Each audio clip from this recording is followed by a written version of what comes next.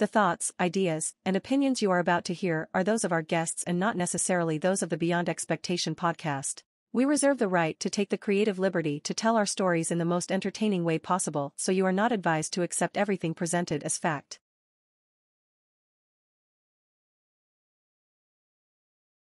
All right, well, we're back from uh, enjoying some delicious pizza and just taking a nice, nice little break as well. So That was some great in the mix. pizza, by the way. Thank you, Brad, for ordering that. So shout out to our third, uh, third guy right here. He's our man. Shout outs to him. But uh, back where we were, we were talking. Um, what was the question that we were going to lead off on? So what what we want to talk about? So we've been talking about influencers and uh, you know all about that. And what we see in you is that you are not an influencer per se, but you are an influential person. And so we want to break that Thank down. you. Thank you, first and foremost. Yeah, because people ask me all the time, what is exactly that you do? Uh huh. And and it's a kind of like a, it's a jarring question because I don't really have an an exact answer. I, I tell people, first and foremost, I'm an entrepreneur. Um, in the words of Young Jeezy, um, when I see opportunity, I'm an opportunist. And I mean that in a good way because you have to remember words can be flipped. Sure. You know what I'm saying? De- definitions can be flipped too. Huh? Now, what's an opportunist? Um, there's people who are like, oh, don't work with that person. They're opportunistic. And that means that they try to get over on you. They're going to use you. They're going to steal your leads. They're going to get, get into your network. They're going to backdoor you.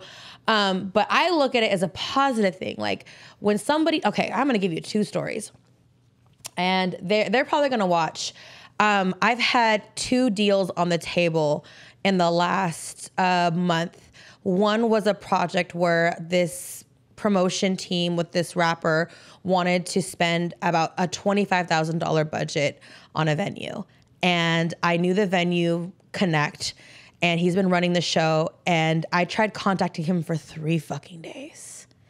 And I was like texting like, yo, hey, let's talk about business, this, that, and the third.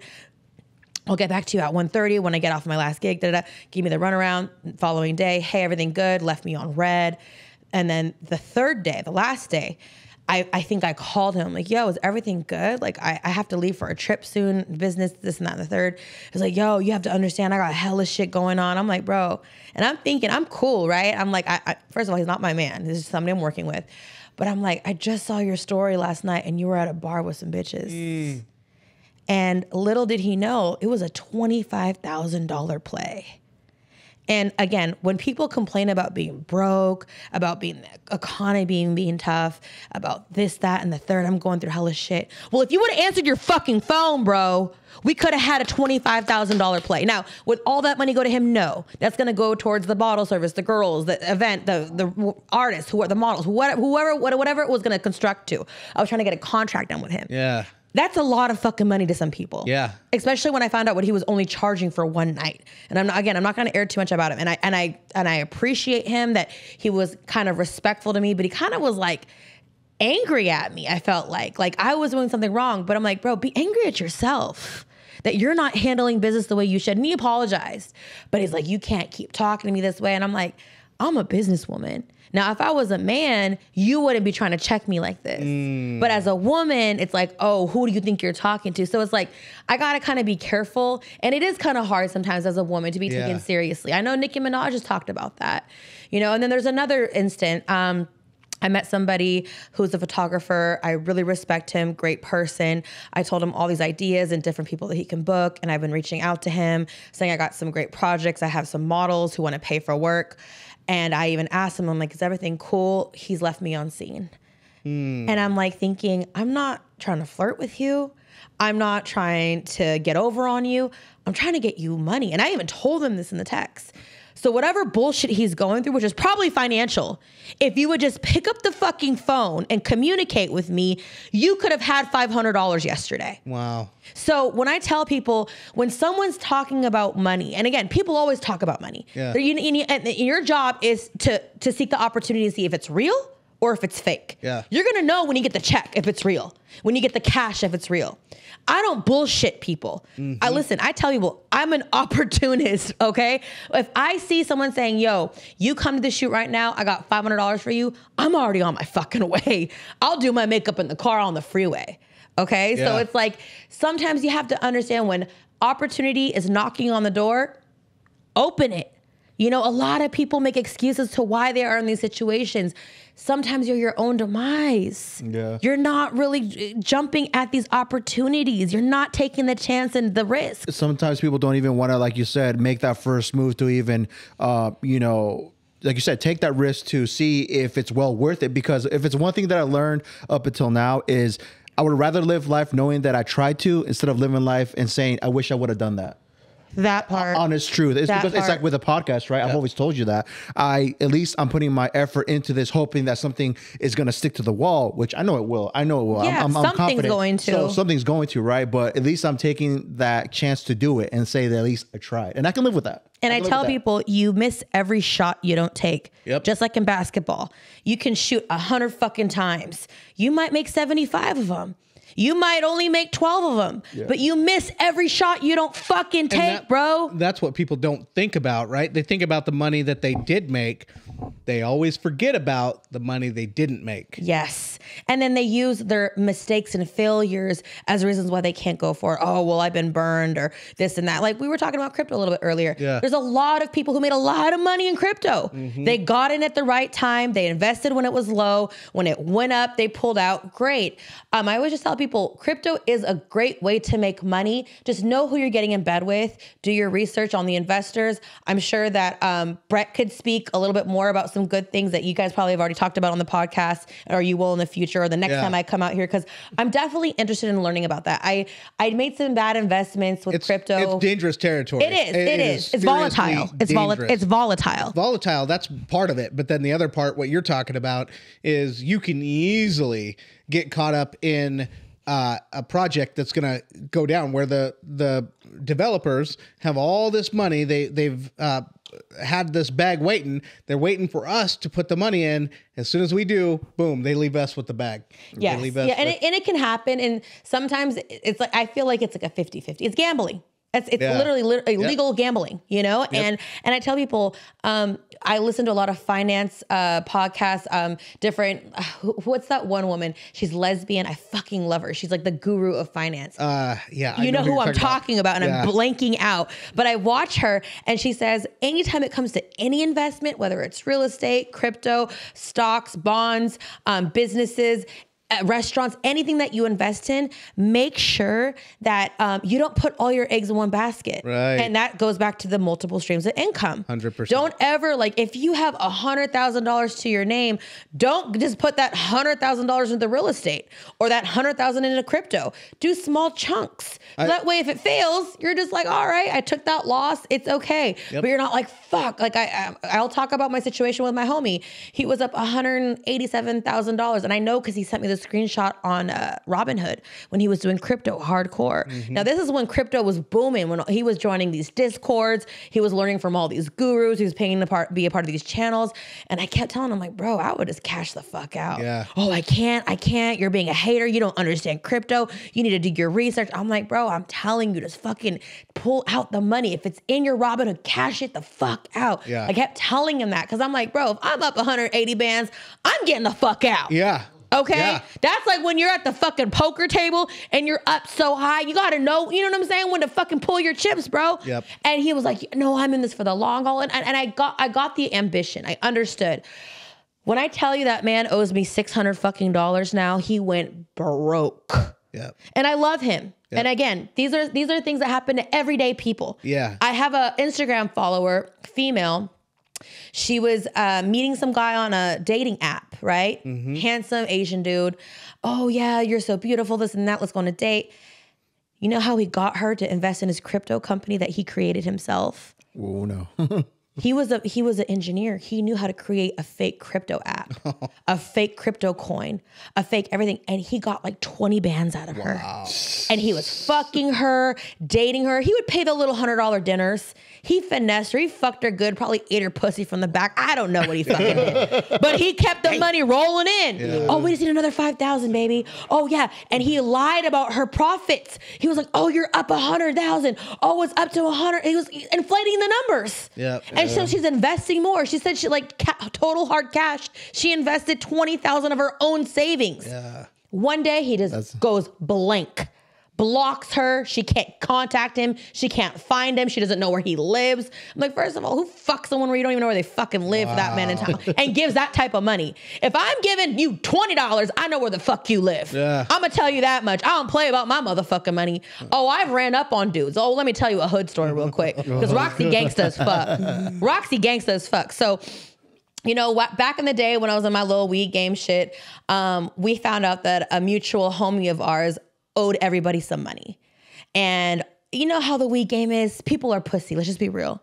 They don't they talk a lot of shit they don't back it up. Right. and i'm a woman okay? I don't own any fucking guns okay? I, I can't legally I, I can't speak on it but i'm not allowed to be around any weapons. But with that being said i wasn't afraid to muscle him. I said so you're telling me he owes me x amount? He owes peter paul james and jose? And i'm just giving blanket names you know? Yeah, for yeah. sure, for sure. And y'all are grown men about two feet taller than me, about 60 pounds heavier, and you're afraid to approach him? And one of the guys like, yeah, I see him on Snapchat all the time posting at this casino. He's gambling with our money. I said, so why don't you pull up on him? They're Yeah. like, bro, we don't want that. He, we have wives and kids. And I understand. You don't want to go to jail over, you know, $8,000, $10,000. He owed me the least. And I pulled up on his ass at the casino. Oh, I pulled the fuck up. I, I was like, let me know the next time you see him because people are stupid. Like I said, always posting in real time. Yep. I said, give me the drop. He's like, okay, it's this, and I'm not gonna say because I don't want to get in trouble. I pulled up at this motherfucking casino. I, I was like dressed like in a trench coat, like on some fucking Matrix shit. I was my boots, all black attire, like a fucking assassin. Yeah. He's at the poker table, the high roller table. Mind you, he owes all these people thousands of dollars. And I tapped him on the shoulder. And you know, there's cameras and guards everywhere, always looking. I'm like, hey, baby, acting like I'm his girl. And he's like, shook, because he knows he owes me money. Yeah. He's like, hey. And I'm like, let you, I'll let you finish your game. I'm gonna be right here. We're waiting outside. And he was like, oh shit. He Knew it was time. He shit. Mind you, I was by myself. I was by myself the whole fucking time. I said, we're waiting outside.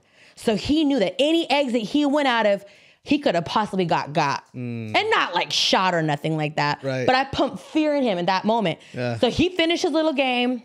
He had a wad of cash. You're gonna trip the fuck out. He he walks up to me and he's like shaking. He's like, hey, what's going on? I was like, so I heard that you owe A, B, C, and D and me some money. What's up? He's like, rocks, like shit's hard. I said, shit's hard when you're here gambling our money, right?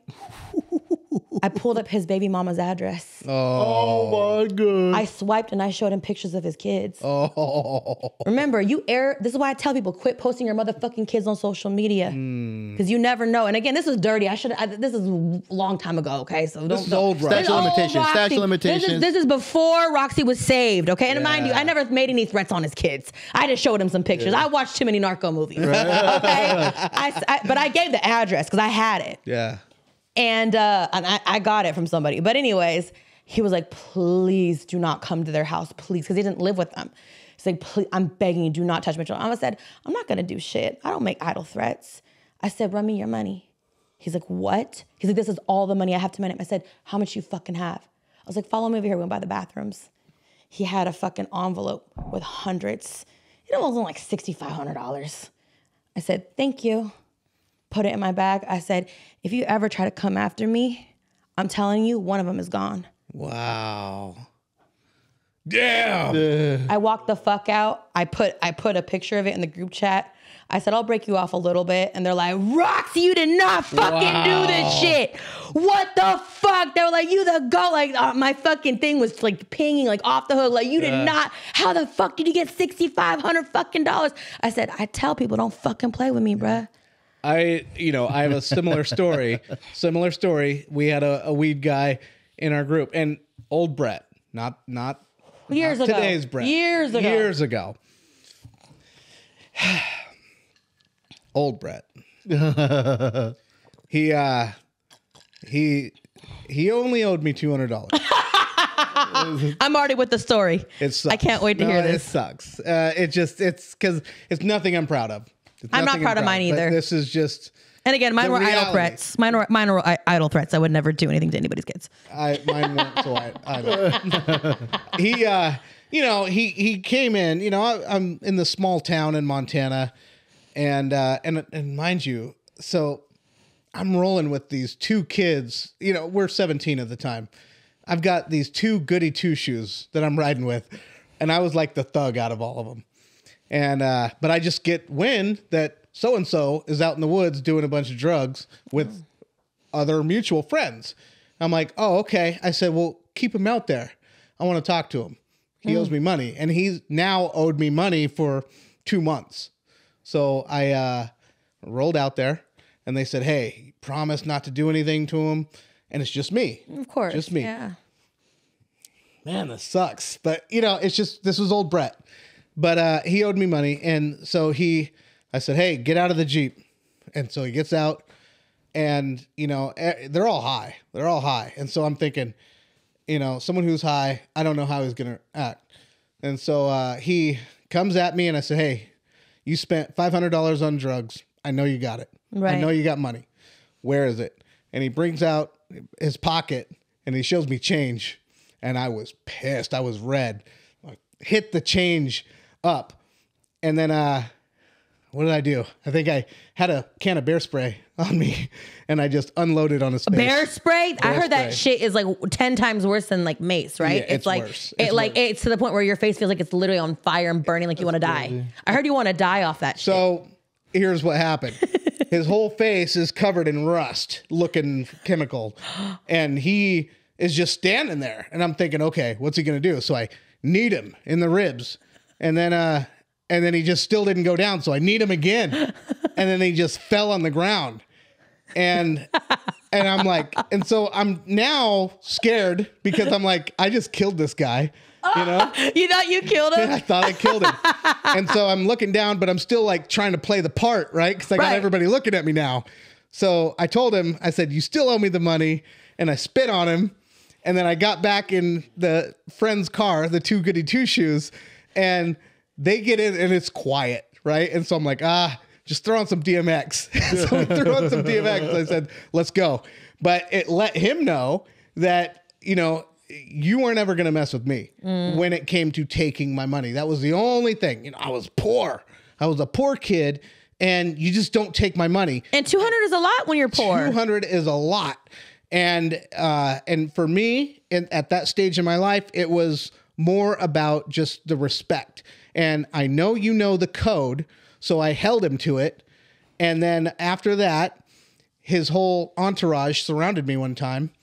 and uh, How was that? it was well, so they surrounded me. It was like four, or five of them. They jump out of this car, so I just tapped on my belt line like I had something. Yeah. and and I it. said, That's I said. I I have enough for every single one of you.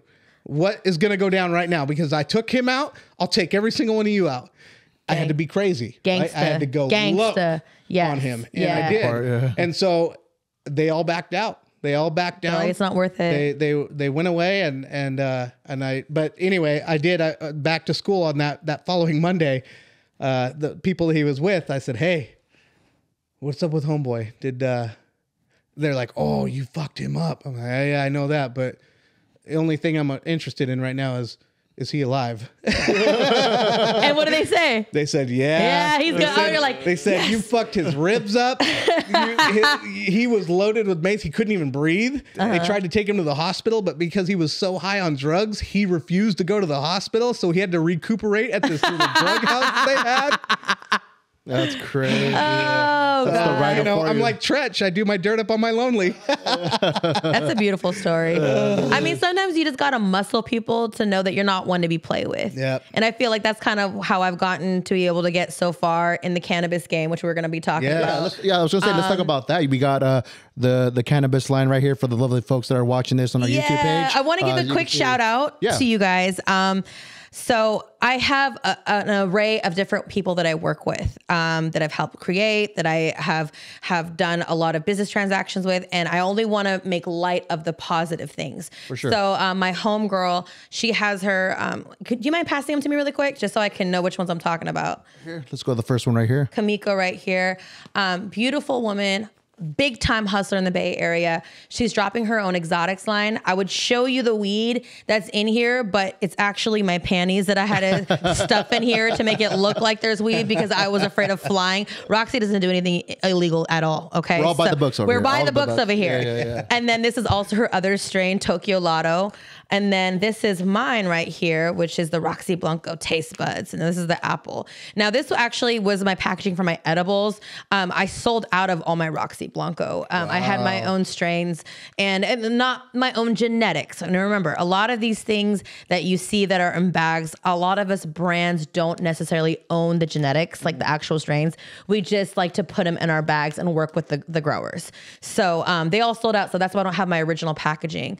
Otherwise, I totally would. And then, oh yeah, thank, thank you, La Miel. So that cup right there that he's about to pass me. So this is um, owned between me and my best friend Mia Valencia from Santa Rosa. Now this girl right here, let me tell you something. She's one of the biggest hustlers I know, and she's my ride or die. And like when I tell you, we go back from the second fucking grade. You know, and we are currently walking, working on a huge fucking project. And we've had offers to open dispensaries. We've had offers from some of the biggest people that have a lot of financial backing. But again, um, this is what we need to talk about, and we can we can put the stuff back for sure, for sure. Um, because a lot of people DM me. I mean, I'm talking. I get at least 50 to 100 DMs per month from people from all over uh, the the world. You know, because you know Instagram is a big reach, right? Um, I get a lot of people who are like, "Yo, I have 150k to play with.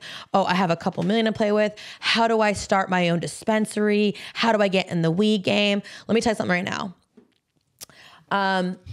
when it comes to marijuana, okay, and wanting to get into the marijuana industry in California, let me pull something up for you guys, okay? Because a lot of people, I'm telling you, shout out to my boy Jason Beck, okay? Because he created this network called High at Nine News. And you can follow them at, at Instagram at High at Nine News. Now, if you are thinking about investing any cash flow into cannabis, I highly suggest you watch all of their episodes. Now, I'm going to tell you why. It's like going to the University of THC for free because you're going to learn the laws. You're going to learn what's going on with cannabis on a federal level, on a state level, on a local level, permitting, licensing, the do's, the don'ts. He's giving you guys free game. I watch him daily. Like he's the Joe Rogan of cannabis. And I tell people, I'm like, the knowledge is free. Quit trying to offer strangers like me money to invest in your cannabis company. Follow these channels on YouTube. He's on YouTube. He's on uh, what's that one? Twitch. he's he's on Instagram. Like he his platform is huge. I just went to their studio uh, recently and I was blown away. I didn't get to a chance to actually like sit down and talk to him for too long, but they're doing a massive like multi-million dollar build out for his building. It's like the fucking ESPN of weed. That's crazy. Like multiple studios. I can't even post the footage yet because it's like still under uh, like construction. But I'm telling people, I'm like, follow this company, um, follow this network because you're gonna learn so much about the do's and don'ts. Do not eh, get in bed or do an investment with people you haven't done research with. When people try to offer me money, like, hey, I have 50k saved up, can I invest in your company? I'm like, fuck no. I'm not taking your money, bro. I just don't want the liability. I don't. I know the brands that I've started. Yep. I know how hard it is. A lot of people don't know this, but if in the state of California, and this is just California, if I were to get all of my brands um, back on shelves, do you know how much it costs? Because I'm getting, I'm slowly getting out of cannabis. My, I'm going to tell you guys my next multi-million dollar deal. Okay. Okay, and you guys are getting blown the fuck away because we talked about this Okay. Um, the reason why I am backing out of cannabis in California and just almost entirely is because it's going bankrupt. The price of weed is no longer the standard. It used to be like $1,600. Let's just name a base price for a pound. Yeah. You're getting units at uh, pounds of weed as low as $300 now. Oh wow. Now, if you know anything about the the market plummeting, that's a huge plummet. Yeah. I know growers who are closing down operations, not because they're getting raided, because they can't afford to pay their growers and their farmers and their and, and the people who are watering, the people who are trimming them. They can't afford to pay their overhead Why is that? Because the system is built again. The way that California state legislation has it and the way that the taxes are, there is no profitability in cannabis. Now, I wish I could divulge more information, which is why I continuously watch High at Nine News. Okay. Because they break it down like on a molecular level Okay. of why it's so fucked in California. Now, is cannabis fucked in Canada? No. Is it fucked in Israel? No. Their their government has it done right so that way everybody wins. In California, you're fucking yourself in the ass with no lube. I'm telling ah, you. damn. So be very careful when it comes to opening or operating a dispensary or a brand. A lot of people are losing millions and millions of dollars. I know people who are putting hits out on people because of money that they owe. And I'm like, bro, don't tell me no names because I don't want to be indicted. Like I Don't tell know, people, I'm like, know. yeah, yeah, I, I, yeah, I see no evil, hear no evil. feeling- Like I tell people, I'm like, I don't want to know any of that. Like whatever, whoever owes you money, don't even tell me because it's it, it's gully. You know, people get robbed. People get. I know uh, three other girls who are like heavy hitters in cannabis. One of them was hogtied and thrown in a bathtub, like on some Kim Kardashian shit. The other one was robbed at gunpoint twice, and the other one has uh, done three years in prison for Damn. trafficking across state lines. So I'm blessed that I've never had any of these things happen. Yeah. My home invasion that just happened three months ago is the first time Roxy's ever gotten played in cannabis. And I've been in the cannabis, cannabis game for 20 fucking years. 20 fucking years. I started this shit at 19. I'm going to be 38. So 19 years. And- and Two decades. And it seems like you said, like to find a different avenue, you want to go down into, like you said, this this uh, New venture. th- this new venture, right? Just to get yourself out of that, which I definitely condone. I hope you do, so that way you get away from all the negativity. I guess you could say, right, that comes along with the business, because there's always seems to be, in a sense, like in any business, there's always a downside to everything, but not probably not that level. So go into your new deal. Okay, What are we at so with that? First, wait, oh, go ahead. real quick before we go into the new stuff let's talk about your accolades let's Yeah. talk about why you have the weight to talk about what you're talking about for sure. I stand on a lot of things, right? Yeah. I know uh, the brands, the corporations, the companies, the people that I have helped start their careers. I've helped ignite the fire. I've helped the marketing. I've done a lot. Um, I, I, it's hard for me to drop names because I sometimes can't. I can't. I, and it's not. It's not me being afraid legally yeah Yeah. yeah. you know and um, i could just say i've helped create some of the greatest and most known things in cannabis and it's kind of sad because as a woman you get played you know and you just got to know how to one up them you know and you got to just learn how to kind of mitigate risk all while staying out of drama staying out of legal issues and try to like play chess not checkers. So i'm trying to build myself around these things. Now as far as as accomplishments i've worked hempcon i've worked Kushstock, um, high times. Like if you guys know anything about um, festivals when it comes to like any type of conventions or anything i've worked with the best of them um, i remember high times magazine approaching me at my booth. Mind you that booth was $10000 Wow. to that our company, the people who I, I was working under paid for, uh-huh. they paid 10 grand on my behalf for my own booth because they believed in me that much. Now, I ended up getting cut from the team, the distribution team, because the wife was jealous of me. Mm. She thought I wanted her husband. I'm gonna look at the camera. Yeah, look right there. I want money, bitch. I, okay, I, first of all, me and your husband and you always talk together. I was never just texting him on the low or sending him booty shots. Like, I, I told her, I respect you. I respect your family, your children. This is all business. But when women feel like they see a younger, hotter, whatever, Like a threat, a right? threat, Yeah, yeah. it poses a threat, and it's like. Anyways, their company ended up dissolving. Everyone went their own ways. Everybody burned each other, from what I last heard. Um, it's sad, you know. So in a way, God saved me from that situation because it was a shit show to begin with. Sure. But I mean, that to me, uh, high times coming up to me and them saying, and again, and a lot of people in the cannabis industry have a lot of negative things to say about high times. I don't. Um, all I know is they approached me saying that they wanted to give me the cover of High Times magazine. Wow. For being a female cannabis entrepreneur. Wow. And I kind of told them my background of who I helped start and was behind. And they're like, You? I'm like, Oh, yeah. Oh, yeah. At the age of 19, I met these guys. And they were like, Wow. They're like, Let's give you the cover. And I was like, really? The woman who was like the head of it, I forget her name, gave me her business card. Tell me why I'm so fucking mad because my idea was brilliant. I was like, what I want to do, because I was doing um, edibles, that was like my main thing. I was like, I want to be sitting like Tony Montana at a fucking desk, like slouched back Nice. with like an open collar, like business outfit, and just like edibles and weed everywhere Instead of Like, cocaine. yeah, instead of cocaine. Exactly, exactly. Like I wanted like a Scarface cover, and they're like, "That's fucking brilliant. We like the way you're thinking." I'm like, "Let's call it the Queen of Edibles or the Queen of Cannabis or something," you know? Because when they found out, like when I gave them my 20 minute story and like summed it up, they're like, "Dude, you're fucking epic. Like, how come we've never heard of you?" I'm like, a lot of the big players who pull the strings are behind the scenes. You mm-hmm. know, we don't get the glory. We let the fucking the, the goon do it. You know, we let the puppet You do give the it. face to the project. Yeah, somebody else, but, but a lot of these people that you look up to, they're just the face. Yeah. They're not the real hustlers. Wow. They're not the ones uh, taking the risks. They're not the ones facing the time. They let the minions do it. Wow. And I mean, I, I can admit I was played, you know, but at the end of the day, I'm working on multi-million dollar productions. I have offers on the table from some of the biggest streaming platforms, which I can't really talk about just yet legally. But I'm I'm I'm doing deals. You know what I'm saying? I'm working with some of the best of them right now. Um, I'm working on a project, and I really can't say too much about it, but they're gonna be some of the greatest hip hop artists, most legendary artists in the nation that I will be working with them. And I can't even give too much more information because it'll already kind of, when you think of the greats, there's like really, I'd say at least a good five people. I can't name who it is. Yeah, yeah, You yeah. know, but they want to, they, they have given me opportunity to, to work with me. And I'm just trying to make sure that everything is good, that they get ownership, that they get residuals, royalties. I'm making sure this is not a Roxy money move for me. I, I, I know that once we get this deal done, that I am, I'm going to have a stamp on my resume for doing, for doing this deal. That is And then it's going to open up green lights for me to do other deals. So I'm going to take the low percentage of whatever I can get.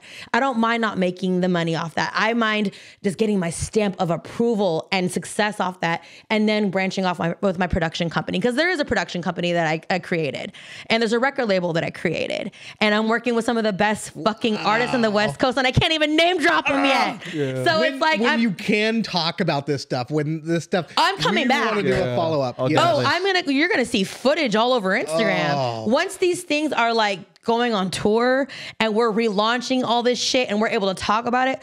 Oh, my Instagram's gonna be wild. That- Um, we didn't. We were talking about my Instagram page being deleted. Yes, yes, Um, uh, yeah. Remember you- another another one of my accolades, and let's let's talk about how I've been deleted 14 times, but the peak of my career on Instagram. My influential Right. career. um, I had over 106,000 followers on Instagram at one point, and that doesn't seem like a lot. Um, it doesn't. It doesn't. Think about it, because there's women out there who have uh, two million followers. Yeah. There's women who have like 52,000 or 52 million, 100. Like I think Kim Kardashian's at what, like 200 million followers. Yeah, but she's someone that everybody knows. Everybody You- knows, yeah. You, are a name that nobody, yeah, nobody knows. knows. And Yeah. you have Independently, in a sense, right? Yeah. and I don't have a sex 106,000 tape. well, not that I sex know of. uh, I hope not. How much did I drink that night? No, I'm just kidding. so so back to you were going though about your project right it, it just I, I love the thing i love about just the way you think it, it's always something that stuck out with me when you said um, i think you posted on some of your stories that it's uh, when i eat everybody at my table is going to eat so that goes along with what you're saying right everything that's going to be involved with this you know i'm not going to enjoy the fruits of my labor just myself. I'm going to spread it out with everybody that's involved with this. I don't care if i get the smaller percentage at least at least so i know it's like you said it's on your resume now right Yes, it's So- a resume builder. Exactly. So when you go forward, multiple doors are going to open for you. for So me, and I'll be able to negotiate deals better in my favor. I, I'm in it for the long haul. Mm-hmm. Like like I said, one of the companies that I helped create that's allegedly worth almost half a billion dollars. You know, I was in it for the long is haul. insane. I, I, I, I was in it for the long haul, and I had loyalty towards them. I mean, this guy called me his sister. Mm, he, he, I would wake up at his house because my, you know, I can't say too much, but we were all, you know, friends, and I was dating one of his friends, and you know, his dad would wake up in the morning and make us coffee and pancakes. You know, there was uh, Thanksgiving potlucks, there was birthday parties, there was baby showers that we were all at, there was all types of things. Yeah, it wasn't just like, oh, I saw him a couple like. I was around for years. I was the backbone to a lot of shit. But sometimes, you know, you just gotta kind of work in silence. And I don't ever pray on um, my enemies. I pray over them you know, because I, I I know that I might be angry, I might say some fucked up shit, I might call you out, but at the end of the day, I really just pray that you get your life together because you shouldn't be worried about me. You should be worried about you. You know what I'm saying? Like for real. and and to build on that um, with everything that you've already been through you've overcome every single obstacle And that's the thing. always come out stronger Thank It- you. that's the thing Shape too. my character. Yeah, at least it's gonna build you up as a person as well, because you've already been through at your lowest or your lowest. I think this is gonna just build you up to make you even stronger for the future, what's to come. You know that you know the game now, right? So you know how to maneuver and shift and just uh, you know come out on the better end now of things. So it's it's just like a, a life lesson learned. Oh, me, it's- I oh, pers- you know, for totally, sure. totally. And and I mean, a lot of people say, "Oh, you know, we hear you're doing a documentary." I've been working on this documentary since I was 19. People don't know that, and people are like, "Well, what do you mean?" I'm like, at a young age, I knew I was going to be a somebody. Mm. I knew I was going to have to take some high risks. I knew I was going to have to fo- possibly face prison time. I knew that, you know, and I, and I was like, uh, this is, but that's what comes with the game. A lot of people who get into the, the weed game or get into the, the music game, they're like, oh, I can do this in the third. But then when push comes to shove, they're the first ones to snitch. Yeah. Mm. They're the first ones to write a statement on somebody, you know? And I tell people, I'm like, Roxy's never been a snitch, ever. And I took a lot of losses for people who could be doing 15 years in prison. And I'm not even talking about people that I um, that are my ops. I'm talking about people who have no idea I did time for them because I knew that if I ran their name out to the government, that they can be hit with an indictment. So I did the time for them. And I, and I just took it and I never spoke on it because I'm like, I know the repercussions. When you speak on people in the streets and you write a statement on somebody and they do 15 years, their people are going to come kill you. Mm, yeah, there's definitely different rules, right? Yeah, there's different. the I yeah. stick to the code. Yeah. You know, like when I met Young Jeezy, let me tell you something right now. This this shirt right here, I still don't remember how I got it. I, I was at the Young Jeezy concert. No man. The Snowman, and uh, again, he's one of my top five. You know, like we were talking about Tupac, Yeah. um, Jay Z. Uh, who else am I? Jeezy. I'm trying to think of the other two. Kanye West. I oh, absolutely fucking love him. And I think the fifth person, well, I would have to say Benny the Butcher. Benny the Butcher. And I'm not going in any particular order. I love all of these men. Like I, I, I, I don't idolize them. I feel like I sympathize with them. I empathize with them mm. because a lot of this shit that they've rapped about, best believe it, women go through it too. Wow. You know, we take the fucking risk too. We don't, we don't get the the um, street cred, and it's not like women should be going out there trying to get street cred. That's not the goal, right? But you have to understand, like when you run with the best of them, you deserve those accolades too. You know what I'm saying? Like just because I don't go around toting a gun and I have bodies under my, I don't never kill nobody, I never rob nobody. But best believe I would have done time for these people. The people, the company I'm talking about, I could have done years in prison. You know what I'm saying? And it's just like, but I stayed down. You know, I stayed ten toes down, and I'm I'm alive and I'm free for a fucking reason. Yeah. You know, but when I I got my mom a house at the age of 25, wow and a lot of people like no. I'm gonna keep it 100 with you. Roxy didn't buy it. Okay, I was trapping so hard back in the day. I was making all types of fucking money. Um, I was able to get my mom a beautiful three bedroom, like customized home with like marble floors and coke white kitchen countertops and vaulted ceilings and manicured lawn. We're we were poor, like dirt fucking poor, like trailer park poor. Yeah. And I tell people, I'm like, you have to understand when you come from nothing, it, it gives you this, it shapes your character Yep. to want more. Yep. Um, some people are comfortable living that for their whole life. Not me. You know, so when I listened to Thug Motivation 101, which is one of my favorite trap albums of all time, when I was trapping for years, um, I remember telling myself, I'm like, I'm gonna get my mom a house when I graduate college. Three months after I graduated college, I got my mom that house. I put like $7,000 down, plus I was paying the rent, which is like $2,100 a month, plus like $400 in utilities. So I was paying $2,500 a month for my mom to have a house. Little would I have known she would have died like what, two and a half years later from cancer. I'm sorry to hear that. And it, and thank you, thank you for saying that. It's it's something that I kind of glaze over because I don't, I try not to internalize it. You know, like I could break down and cry. I've done that before. You know, but I look at it as like I'm glad I did it. Because had I known that she, again, I didn't do this because she was diagnosed. I didn't know, we didn't know she was diagnosed with cancer until five months before she died. It was, that's how quick she died.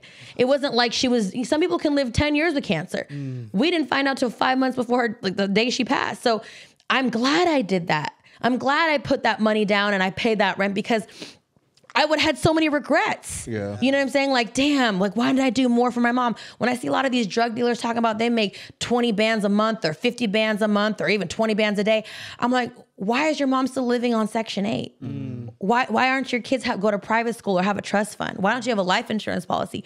Yeah, you might have like a Maserati or a G Wagon and live in a fucking nice uh, $3,500 a month that you're paying rent and a house for yourself. But what are you doing for your family? Yeah. What are you doing for your kids? What are you doing for your mom? Short-sighted. It, that sh- it's, it's a selfishness. It is. Yeah, It's an a way. ego. It's an ego. A lot of these big weed brands that you see, ego. You hmm. really get down to the brass tacks. There's no fucking money there. Hmm. I'm It's almost like you. setting that perception that people want to see that you're living this lavish lifestyle. But I think many people have different definitions of rich. I mean, just just to, for me, like being rich is like being able to take care of your loved ones, to your your most immediate family, and like you said, like going off with what you were saying.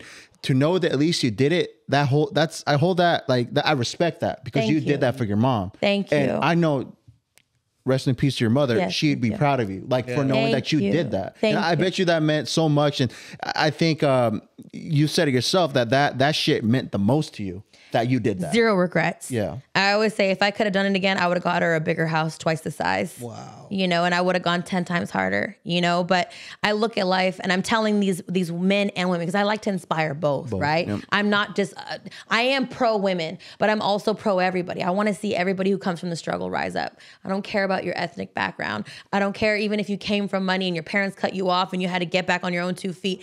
I'm in it for everybody. I want to see everybody come up and win. And it's, it's not an ego thing. It's not a me thing. It's a we thing. Mm-hmm. Like you said, when it comes to, I don't mind being the cocinera. Like in Spanish, yeah. that means the cook. I like cooking up things and feeding people. I feed everybody first. I don't mind getting the crumbs because I see the bigger picture. Because guess what? When I go starving, all these people are going to give me plates. Mm. That's some Dame Dash. You know who Dame Dash is? I, I met him at the airport. oh, are you serious? He helped me carry my luggage because I was struggling. Oh, he grabbed my. luggage for me at LAX. He's like, "Excuse me, miss, you need some help?" I was like, "Aren't you Dame Dash?" He's like, "Yeah," and I was like.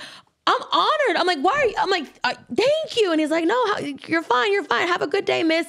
And he just like helped me with my luggage in the car. And, then, and then he walked so, away. so, so he said something so similar to what you just said. He's like, I like having a group, what would you call it, the circle of success, because it's not fair how one person can look rich from that group. It's more balling or more better if all all the people in my circle are riches too, because that way, if one goes broke, at least I can get a hundred thousand from you or five hundred bucks from you, and I'm rich again. Facts. But but to know that like we're all successful and not just one person. He's like, how does it look like if we all roll up in one nice car? I like I'd rather have my crew roll up in all nice cars. He's like, how, how does that make any sense? Why does one So- person need to have a, a, a Phantom Yeah. and all your boys are in Hondas Yeah, Right. and can't pay rent? Exactly. And, and, and this is why I give credit to Benny the Butcher because not only did all of his boys stay down together, they really all became millionaires together. Yeah. Okay. Shout out to BSF. I fucking love them. If you guys want to learn, like, listen and learn some real game, listen to anything um Griselda.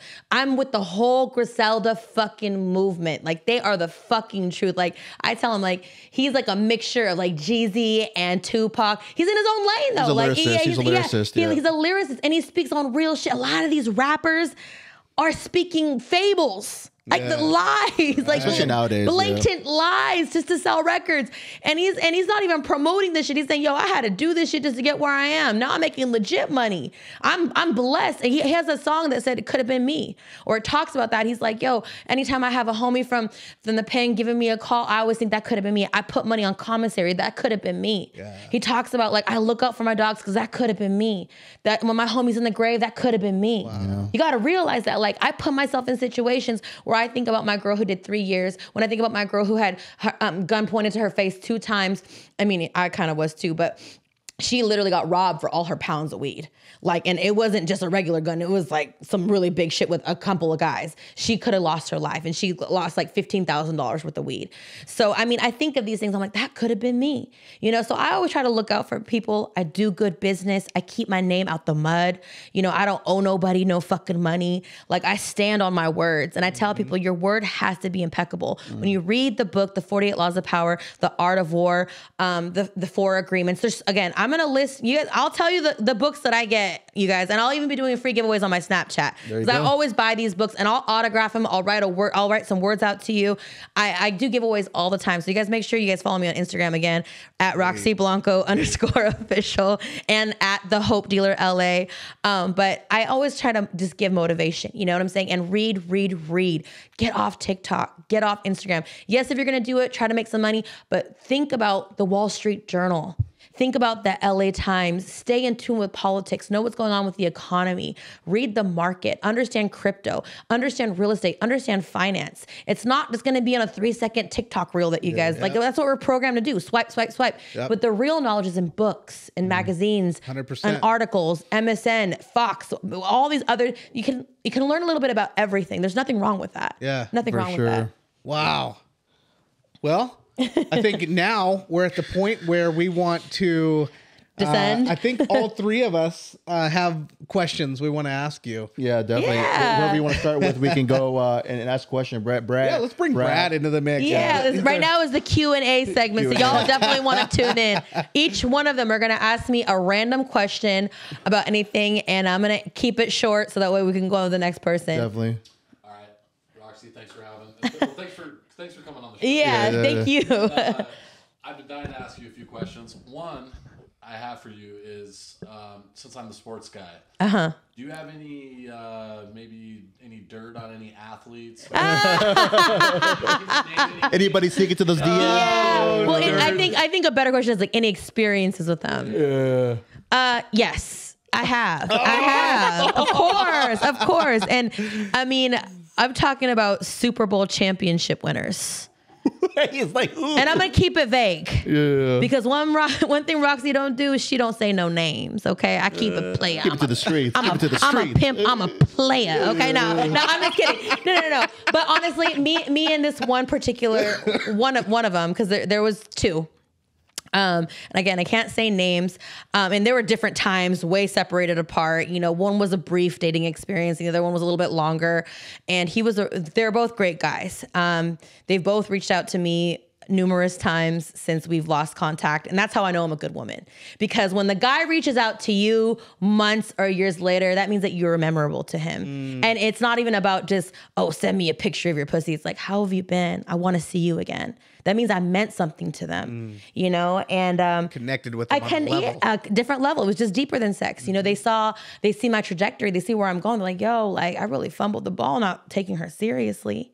You know, so um, yes, to answer that, but anything like salacious, um, I'm trying to think. Like I could say, well, one of them, the super, the Super Bowl championship dude, um, we, we used to have like sex everywhere in his house. Like he, one thing about these athletes, and oh my god, my man's gonna kill me. Oh my god, he's gonna. And we're gonna talk about. Oh Past my god. tense, past tense, this is the past. This is the past. past. This is way. Yeah, you know what I'm saying. Like, and I was younger. I was yeah, and I was younger. You know, but um, like it was just, but it was deeper than that. Like he opened up to me about a lot of things, and um, unfortunately, he had to move to the other side of the country for work purposes. You know, whatever. I don't. I don't. Again, I don't want to say no Keep it team. vague, keep it vague, Yeah, yeah. yeah, keep it vague. But um, but we're still great. And then the other one, I believe he lives. I shouldn't even say what state, but he now has a child, and I see pictures. He actually Venmoed me money to talk to me. Wow. And I was like, because I think I blocked him, or I like, I, I didn't block him. I think he lost. Oh, he lost my Instagram because I, I didn't have a fallout with him either. Um, he lost my Instagram, so he Venmoed me, and then he's like, "How have you been?" And I was like, "Oh my god, it's so and so." And then I think I added him on Instagram. I'm like, "Oh, I've been really good. Congratulations on the baby. This and that." He's like, "I'd love to see you," or something. Just kept it positive, and I think I just left him on read. Because I was already dating somebody else. So, Okay, like, I'm not fair a enough. cheater. I'm not a Fair cheater. I'm very loyal, very, very loyal. But yeah, that's pretty much it for the athletes. Wow. Stories and most. you got a three a three for one combo right there. Yeah. Right? So I'm a Homer Simpson my way out. Yeah. That's Brad for you, our third guy right there behind the Thanks, scenes. Shout out Brad. Brad. B Rad.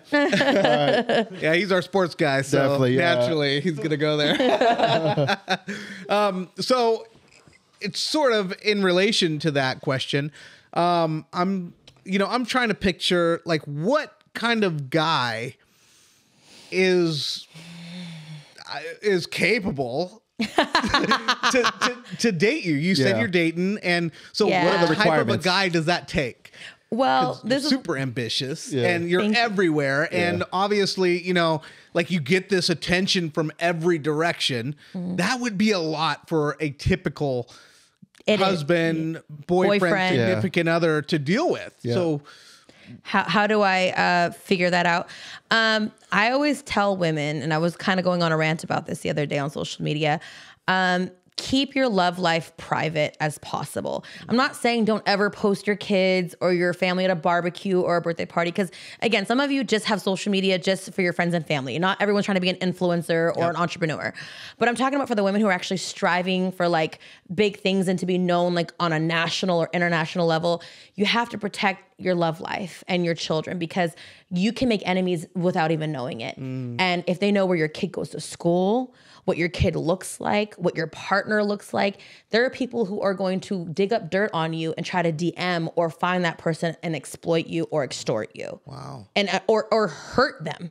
And I know this because I have dealt with this firsthand. Um, with my current relationship, and I'm gonna be 100. It's not easy right now. We we've been going through some some things um, since you know the the last six months. You- Well, I should say the last three months since everything kind of happened, and nothing to say bad against him. yeah Um, I, I was involved in the situation that happened with my home invasion. It was scary. Um, and without telling too much of my private life, I'll say this: he has to be very patient and understanding, which he is. Mm. And he's not somebody who's in the media scene at all. Okay. And that's what I and that's what I wanted. And I want to tell women this. There's a lot of glitz and glamour when you're dealing with men in media or celebrity or music or athletes. And I don't understand why so many women look over 9 to 5 men or just small business owner men. There's mm-hmm. nothing wrong. I feel like if anything, you're going to have a higher level of success dealing with a and not saying an average, but like just somebody who's more low key than you would doing trying to date a celebrity or athlete. Sure. Mm-hmm. Because you're you're mitigating your risk. You have to think about it. When you have a high powered man who makes all this money, he's got a lot of options, boo. Mm-hmm. And if they're younger than you, hotter than you, funner than you, you're just one of many. So be realistic, you know, like there's a lot of great men that get overlooked. And I hate that. Like, I, I feel like it really is a woman's world, even though it's a man's world, because women can really kind of pick and choose who they want to date. Men just kind of have to like who they can get. You know what I'm saying? But a woman gets her body done, gets her teeth done, gets every, you know what I'm saying? Some makeup. It's like, it's like, damn, she's a whole different person. Now she can get whoever the fuck she wants. Sure. Yeah. Men don't have that option. they really don't. You got to really hit the gym. You got to do, you know, you got to do all types of crazy shit. so make it's more like money. Yeah, And, and a lot of money. Exactly. And and it's a, I I like truly believe it's easier for women to make money than it is for men now. Mm. You know, like it's easy for a woman, like these women who are selling toenail clippings or like dirty underwear and making over pics. O- over feet pics and making Isn't over that two wild? hundred k a year. Insane. That's You know, and it's like a, a guy has to work three jobs to make that and zero sleep. You know, so like the average guy. You know, so it's just like you just kind of got to be um, with some. I'd say for me, um, the type of man that I I love and who I have right now is someone who's very patient, understanding, flexible, and he's not controlling. You have to realize that when you have a woman who's very ambitious, um, very outspoken, that there's gonna be tension at times, but I respect him. I'm loyal to him. I let him be the man of the house. If he tells me I don't like this, take this down, it's deleted. You know what I'm saying? Or I don't want you out there saying that. That's a bad look. Trust me, there's been periods of times where we weren't talking. You know, the relationships are never easy. But first and foremost, I have to respect him. And that's how I'm able to keep it going right now. And and I pray that this relationship works out. I really love this man. Yeah. Um, I'll never air him out. Even I told him, I said, even if we break up and we just remain friends, I'll never shed you in a bad light because you were one of the greatest men I ever had. And he's like, Thank you, baby. I love you. And I'm like, I love you too. But you know, it- but it's not easy. Don't me wrong. Like shit is not all sweet right now. But I'm I'm not here to air out my personal business. I'm just here to say that you know, love exists, but it does take a certain caliber of a man to be patient with me. Yeah, for you Know? sure. for sure Okay, so I got a question. If you could tell young Roxy at the at the age of now the the best two pieces of advice, what would that be? Two pieces of advice to the younger Roxy. Younger Roxy, Like like the age fresh out of high school, fresh out of high into the world, into you know into this world. Uh, what would you what would you tell her? Oh, there's just uh, so many things. Oh, oh, that which brings me to I am releasing not one but two books. Okay, Okay. And I'm actually in, I've been working on these books um, for the last two years. Um, one of my books was stolen the laptop that was stolen in my home invasion. I lost everything. Like I said, they even hacked my emails and changed my passwords. I, there's certain emails I can't even get into where I was back hard, hard, hard driving it to, like back driving it to wherever it's called. Yeah. Um, so that sucks because I have to start from scratch. Sure. Damn. So um, now I know to send it, uh, my books out when I'm writing to every email and have multiple hard drives hidden probably in a safety deposit at a bank just in case that happens again. But um, I don't mind starting from scratch. You know, like I remember the things I was writing about. But um, I think my first words of advice to younger Roxy and just to younger girls in general, and I'm talking girls fresh out of high school, fresh out of college, is don't let people box you in. And what I mean by that is you are going to constantly be told what you can't do, how hard things are, how expensive things are, what a waste of time things are. You're going to be telling your people are going to be telling you all their failures because they're going to try to help you. But in reality, that's limiting your mindset. Don't let people tell you, oh, you can't have multiple careers or you can't have all these businesses. How are you going to stop? Listen to your intuition. Now, if you're doing too much and going crazy or owing people money and going broke or being homeless, then you should probably start listening to your friends. Yeah, you know, if you're going about things the wrong way.